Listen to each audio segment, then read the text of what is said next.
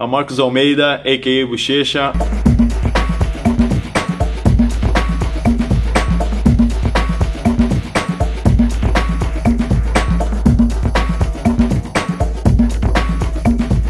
And now I'm gonna show you guys uh, one of my favorite techniques. I like to use a lot the bow and arrow choke because if you do the technique right, it's almost like impossible to the to the guy escape your opponent to escape. So look, when you get the back, guys, the first important thing here, you must get like the seat belt really tight, right? And your feet position, your hooks must get tight too. So you don't wanna like cross your feet or relax. So you gotta control. So keep your foot really tight.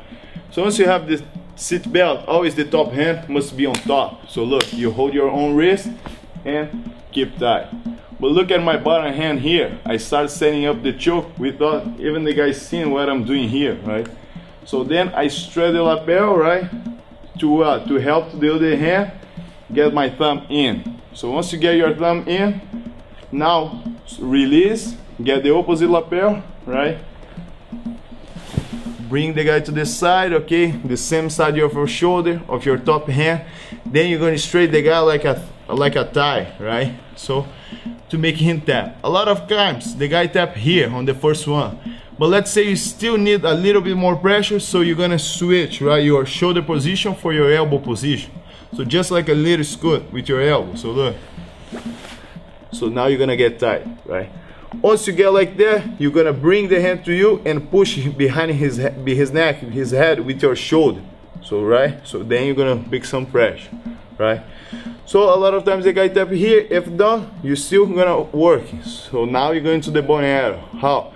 So you're gonna bring the guy to you, right, to release the pressure of the bottom leg, right? So now you're gonna take the bottom hook off and slide, right, through the body. Once you take your leg out, step over, right? So now you have your bottom leg free. So you're gonna come up and end up like on armbar position. So once you have like that, you still the choke tight all the time, right? So now hold his knee, right?